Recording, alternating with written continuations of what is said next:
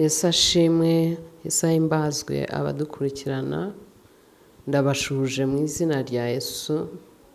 Um, ndashima imana yuko imana itugiriye neza turi amahoro. Ah, icyubahiro n'ikibi cyayo. Yenda abankurikiranye ari ubwa mbere amazina yanjye ni mutambaje jacqueline. Yego. Ah, imana ibaha umugisha imana ibagirire neza. Iteka nzajya mbanza mbashimire mbashimire uburyo ni ukuri mudukurikirana. Ah, inyigisho murazikurikira muri benshi pe abampamagara ni benshi Ah, abanshimira ni benshi. Abambwira bati ni ukuri imana yaguhagurukirije igihe nabo ni benshi. Ah, ni ukuri ndashima imana yuko ikoze umurimo muri jyewe ukomeye kandi ah, ikoze n'umurimo muri mwe mwebwe abakurikirana inyigisho umunsi ku munsi uko mukora subscribe uko uko mukora share uko mukomentinga byose turabikurikirana. Ndagira ngo mbabwire ngo byose turabikurikirana aho muri hose ku isi yose. Urumva rero ko mfite impamvu yo kubashimira mu by'ukuri. Imana yo mu ijuru ijya ibaha umugisha. Abakurikirana inyigisho kandi mugahindurwa na zo ndetse mukazisharinga n'abandi kugira ngo zibagirire akamaro inyigisho z'umuryango inyigisho z'imibanire myiza ni izanyu ntabwo ari izanjye. Rero imana ibaha umugisha imana ibaha umugisha mwinshi ndabakunda. Nk'uko rero mubimenyereye ko inyigisho zanjye zijyanye n'umuryango umuryango uzira amakimbirane umuryango uzira divorce Ah, murabizi ko inyigisho zanjye zikora hose zigisha ku rubyiruko ku bateganya gushaka ah, ku bamaze kubana ah, uko umuntu yabana n'undi ah, badahuje amaraso batava inda imwe ariko bakabana nk'umugore n'umugabo bagasazana. Nizo nyigisho zanjye ubundi. Ubwo mba nkora introduction ntoya ku bankurikiranye bwa mbere. Ariko uyu munsi ah, hari ikintu umwuka yampishuriye nanone ah, muri iyi mibanire y'abantu ah, bagize umuryango hari igihe bigira gutya umwe akava mu buzima agasiga undi akamusiga wenyine akamusiga ababaye akamusigira igikomere cy'ubuzima. Noneho usibye n'ibyo hari igihe bigeraho bikanga. Eh, hari igihe abantu bageraho bakananirwa kwihangana. Navuga ngo oh, abantu bakananirwa ku- kumvira imana ngo bumvikane bagendere ku ijambo ry'imana bakagira gutya bagatandukana. Eh, cyane cyane abagore nibo bakunda gu- gutabwa ko navuga Ah, ugasanga umugabo agize gutya aramutaye amutaye wenyine amutanye abana aragiye ashatse undi mugore. Ibyo ni byo umwuka kuri abo bantu. Hari uyu w'umupfakazi wagize gutya akabura uwo bashakanye bagatandukana bagatandukanywa n'urupfu bagikundanye cyo ni igikomere gikomeye. Gikomeye mu buzima hari n'ugira gutya agatabwa gatabwa umugabo akamuta akananirwa bakananirwa kwemeranya kutemeranya akamusiga wenyine. Ya akagenda agashaka undi mugore. Abo bantu bombi ari uwapfakaye ari n'uwatawe bose ni abanyabikomere. Abanyabikomere ah, kandi nubwo batawe ariko mu by'ukuri mwibuke neza yuko imana yaturemye ntabwo ijya idusiga. Niyo mpamvu rero itajya ishaka ah, gutanga ko habaho icyuho hagati aho ngaho ngo umuntu yumve ko yatawe na mugenzi we edapfuye cyangwa amusize ngo yumve ko ubuzima burangiye. Nibyo njya nkunda kubabwira. Ubwo ni bwo buzima nanyuzemo. Nanyuze mu buzima bwo gutabwa bitanturutseho narabibabwiye ko imana yanyambitse imbaraga zo kurwanya ishyaka ry'umuryango kugira ngo udasenyuka ariko fayinare ugasenyuka kubw'impamvu zitandukanye. Nagiye mbabwira ntashaka gusubiramo. Ariko ndagira ngo mbahamirize yuko imana itigeze indeka. Ntabwo yigeze indeka ntabwo yigeze intererana ntabwo yigeze indeka ngo nandagare. Kandi muri byose imana yabanye nanjye kuko byarinze bigenda gutyo nta mutima uncira urubanza kugeza n'uyu munsi. Iyo mvuga ngo umutima uguca urubanza wa wundi ukubwira ngo aha warahemutse aha nawe wabigizemo uruhare aha nawe kugira ngo umuryango usenyuke nawe nawe ni uko byagenze gutya na gutya nta mutima n'umwe ujya uncira urubanza. Rero kubinyuramo neza gutyo nkihangana nkaca bugufi bikarinda mbirwanira kugira ngo iyo mvuga kubirwanira ni ukwanga gusiga urugo ni ukwanga divorce ni cyo nsobanura.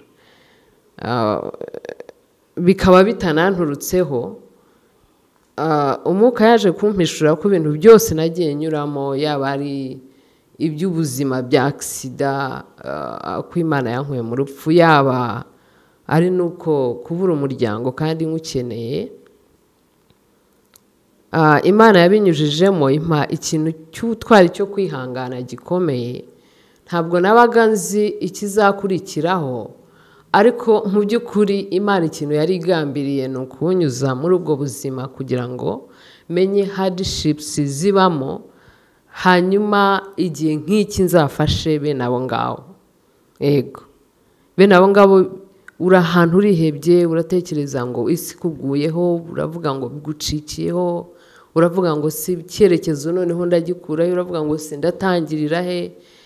Imana yabaga ibinyuzamo ku bw'impamvu umwuka yarambwiye ngo yabinyujijemo kugira ngo nzafashe abandi. N'abanyarwanda baravuga ngo burya ubara ijoro ntuwariraye ni ukuri imana yanyujije mu bintu bikomeye ku buryo ndi umuhamya wo guhamya ko umuntu yakureka umuntu yapfa akagusiga ariko imana ntishobora kukureka. Imana yacu yaturemye. Imana twizere imana nyijuru n'isi. Ntikureka. Ntikureka. Ariko imana burya ahantu igituma itakureka ni uko nawe ugira imbaraga. Wishakamo imbaraga ugahagarara ukatura ubutsinzi ukumva kudacika intege ukumva kutananirwa ukumva kutiheba ukumva kwigirira icyizere. Aho ngaho imana iraza ikabana nawe mu gusenga mu kwegera imana. Kwegera imana kurushaho. Apana kumva wari wishingikirije ku muntu hanyuma umuntu yavaho ukumva birarangiye. Ukumva urasa nk'uwari wegamiye inkingi iraguye nawe urapfuye. reka mbabwize ukuri imana niyo buhungiro bwacu. Imana niyo mahoro yacu. Bibiri iravuga ngo ntimukiringire umwana w'umuntu ngo kuko arapfa n'imigambi ikarangiriraho. Ashobora no kudapfa akaba ariho ariko akagusiga. Abagore tugira ikibazo cyo kumva ko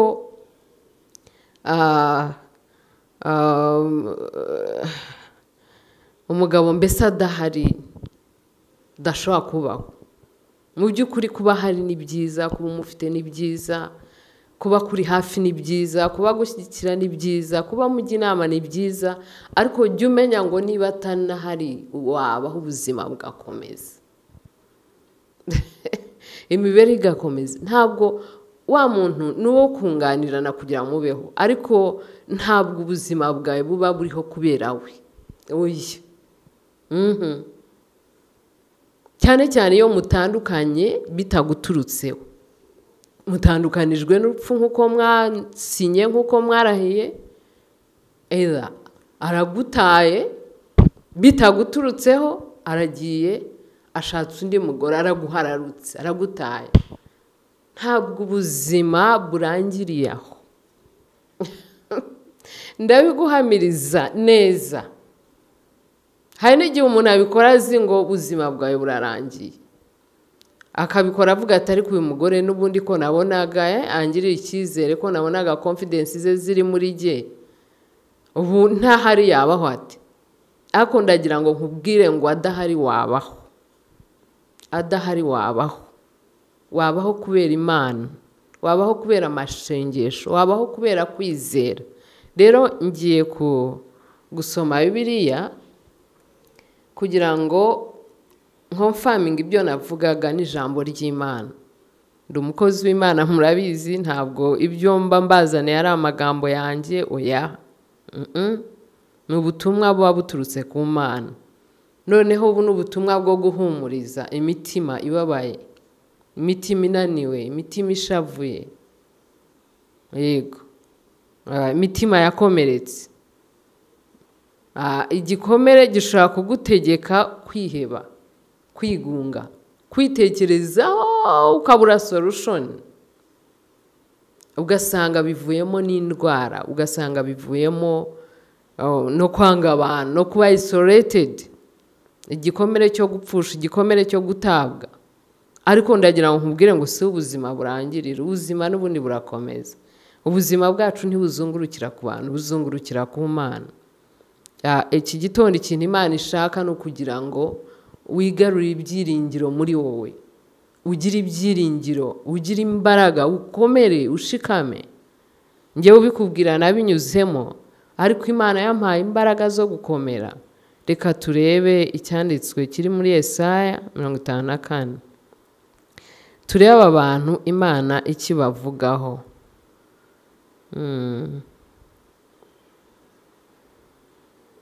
reka duhere ku murongo wa gatatu ngira ngo kadore ku murongo wa kane. Haravuga ngo witinya kuko utazakorwa n'isoni kandi wimwara kuko isoni zawe zitazagukora ahubwo uzibagirwa isoni zo mu buto bwawe n'umugayo wo mu bupfakazi bwawe. Ntuzawibuka ukundi kuko umuremyi wawe ari we mugabo wawe. Uwiteka nyiringabo niryo zina rye. Uwera wawe azitwa imana y'isi yose. Uwiteka aguhamagaye nk'umugore w'igishubaziko ufite agahinda mu mutima. Nk'umugore wo mu busore iyo asenzwe. niko imana yawe ivuga ahangaha bibiriya ivuze ku bantu babiri. Kuva ku murongo wa kane wa gatanu n'uwa gatandatu. Ivuze ku bantu babiri ivuze ku mupfakazi ivuze no ku mugore wo mu busore iyo asenzwe irababwiye ngo witinya kuko utazakorwa n'isoni. Kandi wimwara kuko isoni zawe zitazagukora. Ahubwo uzibagirwa isoni zo mu buto bwawe n'umugayo wo mu bupfakazi bwawe. Ntuzawibuka ukundi kuko umuremyi wawe umuremyi wawe imana yawe ari we mugabo wawe. Umuremyi wawe ubwo imana yawe niyo mugabo wawe sasa uwiteka nyiringabo niryo zina rye. Uwera wa isirayeli. Niwe mucunguzi wawe. Azitwa imana y'isi yose. Rero ku murongo wa gatandatu uwiteka aguhamagaye. Nk'umugore w'igishubaziko ufite agahinda mu mutima. Nk'umugore wo mu busore iyo asenzwe. Niko imana yawe ivuga. Amen. Ibi byose aba bantu bombi imana irabakonsidaringa imana irabibuka imana irabakunda ntijya ibareka hari umupfakazi nk'uko natangiye mbabwira wapfushije umugabo bapfushije uwo bubakanye uwo bashakanye. Hari n'umugore rero usendwa ibi ngibi bya divorce. Bibiri byita gusenda. Umugore wo mu busore w'umuntu bashakanye bakundanye yarangiza akamuhararuka akamuta akamusenda. Rero imana irabizi ko ufite agahinda kenshi. Muze kuhisomera esaya mirongo itanu na kane uhere ku murongo wa kane ugeze ku wa gatandatu. Abo bantu imana irabahumuriza. Imana irababwira ngo humura ntabwo uzakorwa n'isoni. Ngo ahubwo uzibagirwa n'umugayo. Umugayo burya iyo umuntu yabaye umupfakazi abantu batangira kumugaya no gutegereza ibiri bukurikireho no kumva ari bunanirwe no kumva ari bucike intege ndetse niba ari abagabo bagatangira kumushira ubwoba no kumuvogera no gushaka kumwigarurira no kumwubahuka. Ubu ni umugayo. Umugabo yagutaye yagusenze ku cyaro. Ubu uri umunyamugayo buri muntu wese aba yumva yakugaye ntacyo uri cyo. Ariko ndagira ngo mbabwire ngo iyo ni imyumvire y'abantu. Imyumvire y'abantu itandukanye cyane n'iy'imana. Niyo mpamvu witeka muri iki gitondo aguhumuriza. Kubwira ngo humura komera umutima ikuremo ibintu by'agahinda no kwigunga no kumva bitazashoboka. Uwiteka umuremyi wawe araguhumurije. Ngo ni we mugabo wawe. Ubwo rwose ateka ingovu akaba umugabo wawe. Umugabo warapfuye ashizemo umwuka ni umuntu aragusize ariko imana ntiyagusiga. Kandi noneho ariyo ibaye ni cyagi yo kuba umugabo wawe. Ni imana idapfa ni imana idatererana ni imana itagusiga wenyine. Imana irabizi ko icyo gikomere ugifite aho uri hose si inkuzi ntunzi ariko imana ikuntumyeho muri iki gitondo. Nanyuze mu bikomeye pe. Hahandi nshobora kumva nk'umwana w'umuntu nta nzira. Njye byamaze no kuba umaze gutabwa nkubitana na agisida y'urupfu. Urumva icyizere koko atari ku mana nari kugikura ariko mu by'ukuri icyizere nagikuye ku mana. Nagikuye ku mana imana irankomeza imana imbwira amagambo meza yo guhumurizwa nk'aya ngaya ndimo kukubwira. Ndakomera nishakamo imbaraga ndiyubaka nishakamo ibisubizo ndasenga negera imana ntananyeganyega. Ariko imana imbere imana kuva icyo gihe kugeza n'uyu munsi. Ndimo ndaporocinga imyaka itandatu imyaka irindwi. Ndi jyenyine. Mu bumuga ariko mu by'ukuri ikintu gikomeye ni ukumugara mu mutwe. Ikintu gikomeye ni imyumvire negativu. Iyo utangiye kugira imyumvire negativu no gupfa urapfa. Reka turebe rero ibintu ibintu ibintu nka bingahe nka birindwi umwuka yagiye ampishurira nababwira kugira ngo mukomere mushikame kandi mwumve ko ubuzima bukomeza murusheho kwizera imana no kuyikunda no kuyubaha. Icya mbere kigize ibindi ni ugukunda imana. Ni ugukunda imana no kuyubaha ukabana na yo mu masengesho. Iyo bimaze kugenda gutyo kenshi abagore benshi iyo ari kumwe n'umugabo we bafite amahoro ari muzima hari n'igihe ibintu byo gusenga usanga atabyitayeho. Ugasanga yishingikirije kuri wa mugabo nk'umutwe w'urugo nyine nka head of the family nk'umukuru w'umuryango. Akaba azi ngo ntabwo yaburara akaba azi ngo ntabwo yabura amafaranga yo kwishyura inzu yabamo akaba azi ngo minerivare z'abana ntizabura.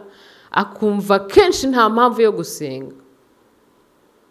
Ariko mu by'ukuri gusenga ni intwaro buri muntu wese yagombye kwitwaza hano kuri iyi si cyane cyane twebwe abakirisitu bibiri iravuga ngo musenge uba udasiba waba ufite umugabo waba utamufite waba waratawe waba mukiri kumwe mwaba mugifite amahoro gusenga ni ngombwa mu buzima. Ni intwaro ikomeye. Ariko noneho ahangaha nta yindi choice uba ufite uretse kwegera imana ugasenga. Kuko buriya abantu badasenga baterwa n'ubwihebe baterwa n'ubwigunge baterwa no kumva nta byiringiro ubuzima burangiye. Niyo mpamvu ubona abantu basara.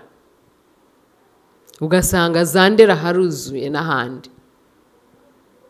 Noneho abadasaze ugasanga barwaye za puresha buriya wabuze ibyiringiro. Abandi bari muri za sitoroke abandi umutima wahagaze. Iyo wabuze ibyiringiro ibyo byose ibyo byuririzi byose biraza. Kandi ntushobora kubona ibyiringiro utegera imana utayubaha udasenga.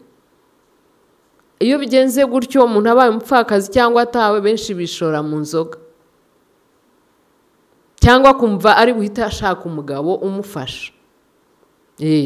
Bakora n'ibyaha amuhe make. Akumva ntiyabaho nta muntu umuha ubufasha. Ariko ndagira ngo mbabwire ngo umugabo mwiza umufasha mwiza ni uwiteka. Nk'uko mubyumvise mu ijambo. Ngo uwiteka uwera wawe ni we mugabo wawe. Ngo humura ntuzakorwa n'isoni. Imana ntushobora kuyihungiraho ngo ukorwe n'isoni. Ariko abantu wabahungiraho ugakorwa n'isoni. Ukorwa n'isoni z'ibyaha. Umuntu nawe yagutererana nk'uko na undi yagutereranye. Yapfa akagusiga nk'uko na undi yapfuye akagusiga. Ariko imana irashaka ko tuyegera. Mu kuyegera no gusenga hari ibyiringiro bindi bishya duhabwa. Hari izindi mbaraga duhabwa. Nicyo cyankijije ni cyo cyanyujije muri biriya bibazo nkabivamo neza kandi nkaba uyu munsi ndi umutsinzi. Sinjya niheba sinjya niganyira sinjya nitekerezaho. Sinjya numva ngo ubuzima burahagaze.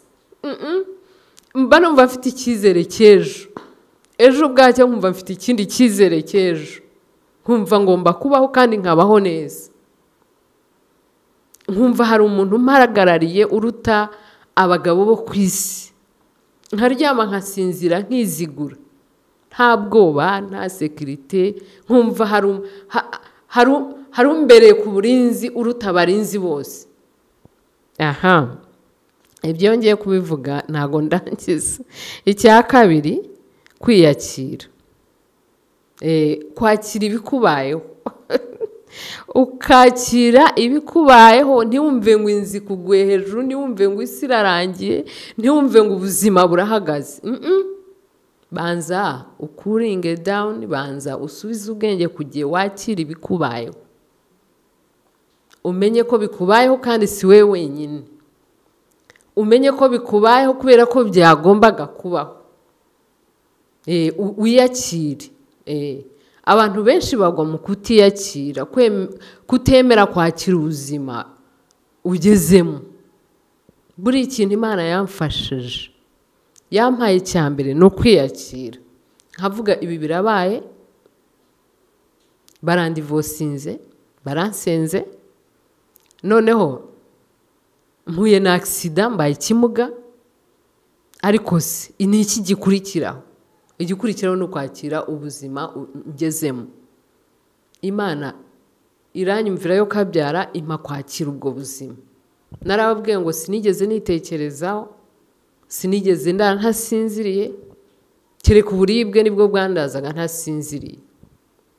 Ariko kwitekerezaho ngo bizagenda bitenze abaho nese? Bizagenda bitese noneho ndi n'ikimuga nta n'akazi nzashobora gukora? Urabyumva? Nari mfite rezo yo kwiheba no kutakira ibimbayeho. Kandi noneho byabaye bikurikirana. Imana ikabireka bikangeraho noneho numva ijwi rimbwira ngo imana ubwo iretse bikakugeraho izi ko uzabishobora izi ko byakire. Wizere imana. Yego. Ugomba kwakira ibikubayeho ntiwumve ngo isi irarangiye isi ikuguye hejuru ubuzima burarangiye aho ni ho umuntu atekereza ubwonko bukaborowinga ikintu utazashobora ujye ukirekera uwiteka imana. Ikintu utekereza ukumva nta sorushoni kirekera imana. Yiba hari intambara zihari ukumva zirenze ubwonko bwawe zirekera imana ikurwanirire. Iduhaye ashuwarensi ko ariyo mugabo wacu. Iduhaye ashuwarensi ko tutazakorwa n'isoni tutazamwara ahubwo tuzibagirwa isoni zo mu buto bwacu. Uri umugore mutoya urapfakaye uri umugore mutoya urasenzwe. Imana iduhaye inshuwarensi icya gatatu kwigirira icyizere.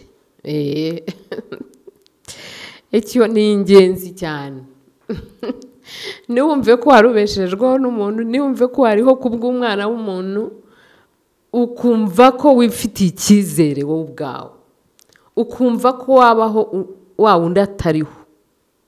Ukumva nawe ko wakwishakamo ibisubizo. Yego. Ukigirira icyizere ukigirira confidence muri wowe. Ntiwumve ko ntacyo umaze ntiwumve ko ntacyo washobora ntiwumve ko ntawe wagera. Oya hamwe n'imana birashoboka. Kwigirira icyizere ukumva ko uri umuntu w'akamaro uri umuntu w'igiciro uri umuntu w'umunyabwenge uri umuntu w'umuhanga uri umuntu uri umuntu nyakuri wujuje ibyangombwa. Nk'uko uriya yashoboraga kukubeshaho cyangwa agashaka akazi cyangwa nawe wagashaka nawe wabaho. Narababwiye ngo ngo ngo kugira akazi si ukuba warize amashuri menshi. Iyo wamaze kwigirira icyizere hamwe n'ibi byose navuze haruguru imana iragusanga ikaguha icyerekezo. Ishobora no kugushyiraho inzira ahatari inzira. Ariko mu gihe nawe wituka mu gihe nawe wiyaturaho ibintu biri negativu uvuga se nzagera ku ki? Ubu se nashobora iki? Ubu se nkange ubu se nakora iki? Ibyo bintu biri negativu ni amagambo aturuka ku mwanzi satani. Rero iyo ugenda uyiyaturaho kuko ibiri ku mutima ni byo bisesekara ku munwa bigenda byirema ukaba umuntu udafite umumaro koko. Ariko ndagira ngo nkubwire ko ufite akamaro ndagira ngo nkubwire ko uri umugore w'agaciro ndagira ngo nkubwire ko uri umugore w'intwari. Wahagarara ukabaho ubuzima bugakomeza hamwe no gusenga hamwe n'imana. Icya kane no kwihesha agaciro wiyubakamo icyizere nanone. Kwiyubaha. Ukiyubaha ukihesha agaciro. Apana kuvuga ngo ndapfakaye dore barantaye ugasanga nawe ubwawe ntiwiyubaha ugasanga ntiwikunda ugasanga urinegirije. Ikintu cyitwa negirijansi ikagutaha ugasanga rwose ikintu cyo kwiyubaha no kwihesha agaciro cyashize muri wowe intege zacitse wahinze umushyitsi watentebutse. Oya! Ugomba kubaho wiyubaha ugomba kubaho wihesha agaciro. Ibi ngibi leta yacu ikunda kubivuga kandi ikabishyira mu ngiro kwihesha agaciro. Buriya iyo wananiwe kwihesha agaciro nta wundi waguhesha agaciro. Iyo wananiwe kwiyubaha nta muntu wundi wakubaha. Inshuti yanjye iyo wiburiye icyizere ubwawe muri wowe nta muntu wakwizera. Nibyo bituruka ku bikomere pe. Gupfusha umugabo wamukundaga ni igikomere. Ariko se duhere aho ngaho? Twe kuharenga. Biba inzitizi y'imibereho yacu. Nibyo umugabo kuguta akaguta akakudivosinga wamukundaga wari uzi ko mwashakanye muzasazana muzabana. Nibyo birashoboka n'umwana w'umuntu yaguta. Ariko wikumva ko uri intabwa umva imana yawe yaturemye twese isumba byose ishobora byose. Yisunge izakugirira neza wigirire icyizere wihesha agaciro n'utihesha agaciro nta muntu uzaguhesha agaciro. Nutiyubaha nta muntu uzakubaha nutikunda nta muntu uzagukunda. Pe! Ibi ndabiguhamiriza. Kugira ngo umuntu agukunde ni ukuba wikunze. Kugira ngo umuntu aguhe agaciro ni ukuba wakihaye kugira ngo umuntu agukunde ni uko ubanza kwikunda kugira ngo abantu bakubahe ni uko wiyubaha nawe ubwawe.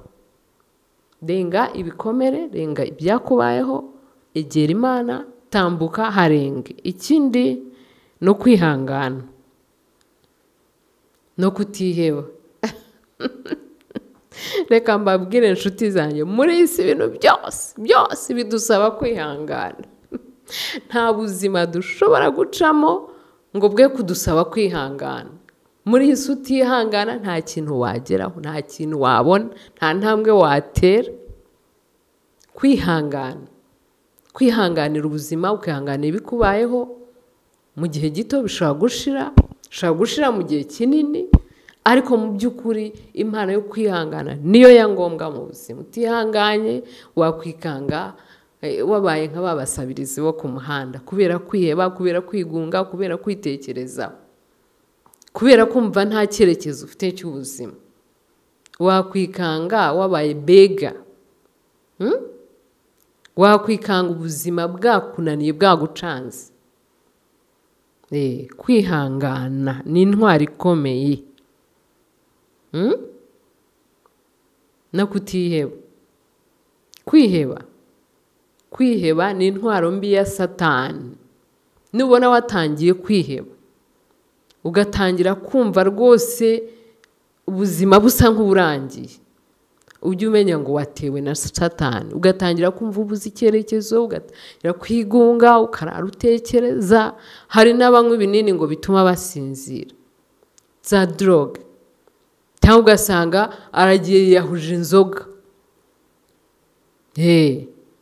Kugira ngo abone ibitotsi. Uraziyahuza ubone ibitotsi by'iryo joro ariko buracya. N'ubundi ubisange. Bikiri byose. Ahubwo byaniyongereye. Nta kintu doroge yamara. Kwiheba ni intwaro ya satani ikomeye.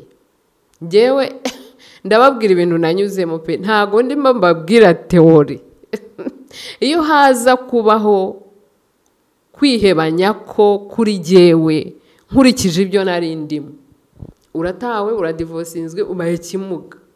At the same time ni ngewe umuntu wari kwiheba kurusha abandi. Ariko ndababwiye ngo ndi no mu bitaro sehashika n'abaganga bandwaje bamvuye n'abarwaza barabizi n'abana nabyaye ntabwo nigeze mpa urwaho intwaro ya satani yari yitwaje yo kunteza kwiheba pe. Ndi umuntu hari igihe byanteraga. Hari igihe najyaga nshaka kubitekereza. Ariko nkumva ijwi rimbwira ngo imuka ku bintu udashoboye utari bubonere solushoni biveho. Hari undi ubishoboye bimwikoreze. Nkahita mbwira imana ngo mana we watumye bingeraho wari ubizi. Uzi n'ukuntu uzabigenza. Iyi ntabwo ari imitwaro nakwikorera ngo nshobore. Sinanakwiheba ngo ngire icyo mbona. Sinanabitekerezaho ngo mbone solushoni ikintu cyose mu buzima bwanyu. Njya ntekerezaho nkumva nta solusiyo iri hafi. Ndavuga ngo mana ndakiguhare yaba ari intambara yaba ari ibingoye yaba ari ubukode yaba ari rasiyo yaba ari ukwambara. Mbwira imana ngo ndabiguhariye niba ubishoboye njye sinabishobora. Kandi koko nkumva ndabihariye nkumva hari umuntu urimo kubikora urimo gutanga solushoni urimo gushyiraho inzira ahatari inzira. Ibi ni ibintu mbabwira bitari teore ni puratike nanyuzemo.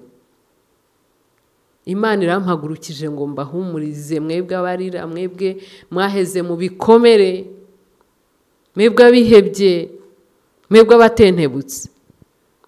Reka turebe reka turebe ikindi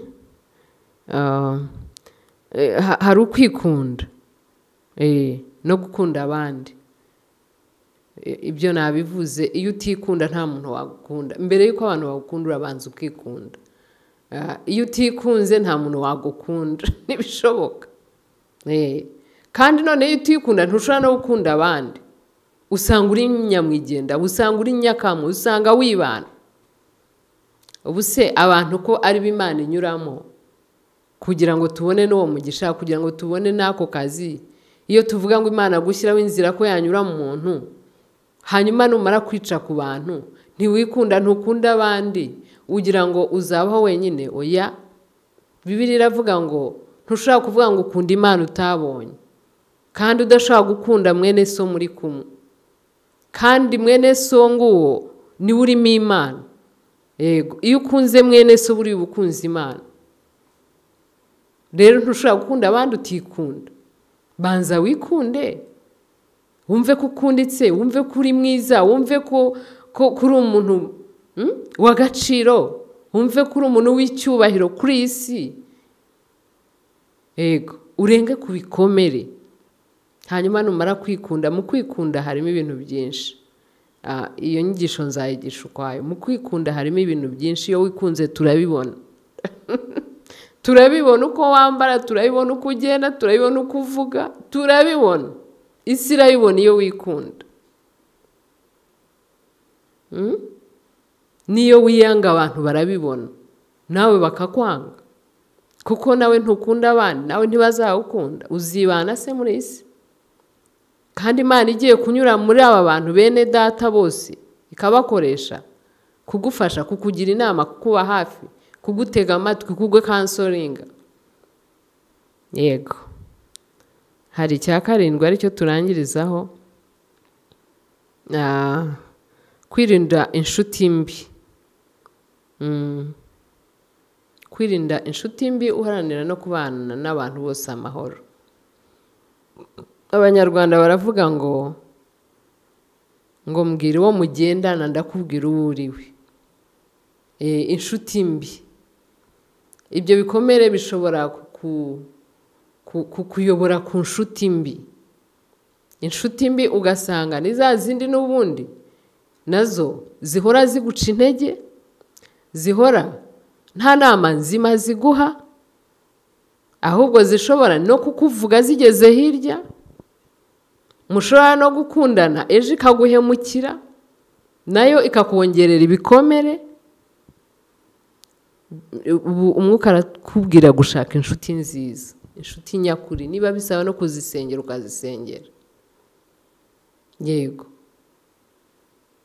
Kandi uharanira kubana n'abantu bose amahoro.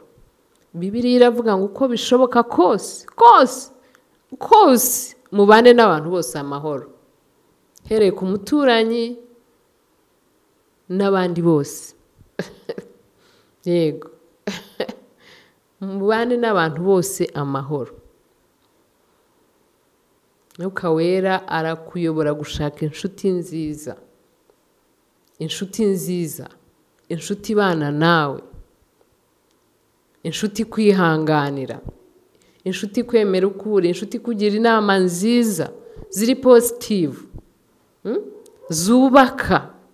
Niba umuntu nta mushobora kuganira mu kiganiro mwaganire mukarangiza nta nama nziza iri positivu akugiriye ahubwo iteka guca intege iteka kubwira ibintu biri negativu wibaza ko iyi ari inshuti nziza. Rimwe na rimwe ukumva mwaganiriye hari amabanga yawe wamubwiye y'umutima wawe ageze hirya akuvuyemo. Ubwo iyo ni inshuti nziza. Inshuti idakiranuka mu byo ikora mu byo ivuga iyo ni inshuti nziza. Ugomba gushaka inshuti nziza mu mibereho yawe inshuti nziza urayimenya kandi noneho ugakora sitarago yo kubana n'abantu bose amahoro. Uko bishoboka. Ibyo niwo ubigiramo uruhare kugira ngo ubane n'abantu bose amahoro. Ushobora guturana n'umuturanyi ukabona wenda mu mico ye ntimuhuza. Ariko urabiharanira kugira ngo uzabane nawe amahoro. Ni igitambo utanga ni sakurifisi utanga ya yindi irimo kwihangana. Ukihanganira umuturanyi ukihanganira aho ukora ukihanganira imiryango ukihanganira n'abana wabyaye. Ugaharanira kubana n'abantu bose amahoro. Ibi byose rero mvuze bikubira hamwe kutuzanira ibyiza. Byose bifatanyiriza hamwe kutuzanira ibyiza. Sinzi niba wanditse uko nagenda isitinga ariko ibi bintu bizagufasha mu buzima bwawe bwa buri munsi. Wowe wari waratawe mu buryo bumwe cyangwa ubundi mu gupfusha umugabo cyangwa gutabwa ukumva ubuzima burarangiye ukumva ubuze icyerekezo ukumva isi kuguyeho ariko uyu munsi imana ije kuguhumuriza. Irakubwiye ngo humure ntuzakorwa n'isoni. Humure imana niyo mugabo wawe ubu niyo yatinga nk'umugabo wawe. Imana idapfa imana itananirwa imana itajya ibura uko ibigenza wikwiheba winanirwa widindira wicika intege.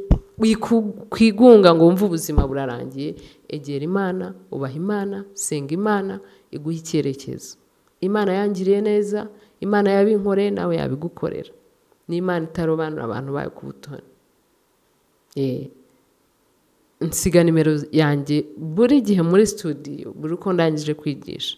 Ntabwo nyisiga for formality. Nyisiga kugira ngo muyifate mumpamagare. Niba hari ubujyanama mushaka imana isutseho umwuka wayo wa kansoringi w'ubujyanama kuko iyo ujya inama y'ibintu wanyuzemo utanga ingero zifatika z'ibintu uzi mu by'ukuri imana igenda ikugwiriza ubwenge bwo gufasha abantu benshi bari sitarandedi abantu bababaye abantu bihebye abantu bafite ibikomere by'abaviriyemo indwara bikabaviramo koronike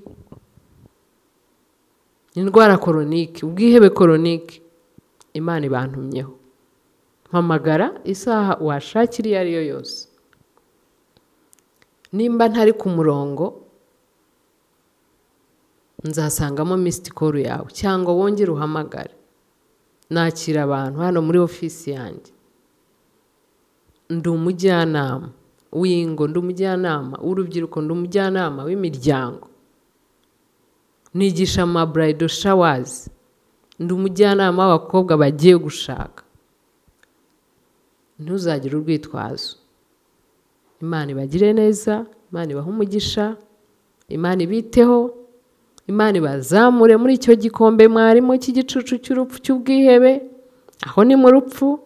Imana y'amahoro yangiriye neza ibagirire neza. Reka dusenge. Imana yacu wera wa Isirayeli mu izina ryawe ryera ndi imbere y'amaso yawe data wa twese wo mu ijoro nkuciriye bugufi nguhaye icyubahiro ngushimiye neza n'ubuntu bwawe utugirira o karamaye mungere mwiza ngushimiye ko utuzi kuruta uko twizi ngushimiye ku bw'inyigisho papa data wateguye kugira ngo uhumurize data wa twese abababaye bihebye bigunze bumvaga ko isi barangiriyeho bumvaga ko nta cyerekezo cy'ubuzima ariko data uduhaye icyerekezo cy'ubuzima. Mwami w'abami reka iri jambo rigere kuri benshi kuri benshi kandi bahindurwe naryo. Abumvaga bidashoboka kubaho bumvaga batakongera guhagarara bumvaga batabyakira bamenye ko ari wowe data wa twese wo mu ijuru inshuti y'abihebye bamenye ko ari wowe mugabo w'abapfakazi bamenye ko ari wese w'imfubyi babimenye babisobanukirwe bakwegere kuko ni we buye rizima ryanzwe n'abubatsi ariko ryatoranyijwe ku mana. Reka rero data wa twese wo mu ijuru numve abahamagara ari benshi n'abatabyumvise neza n'abatabisobanukiwe kugira ngo umwuka wawe wera arusheho kubasobanura byinshi. Icyubahiro n'ikibi cyawe muri byose mu izina rya Yesu kirisito umwami wacu. Amen amen. Nimero yanjye ni zeru karindwi umunani umunani mirongo ine na rimwe mirongo irindwi na gatandatu zeru karindwi. Shalomu shalomu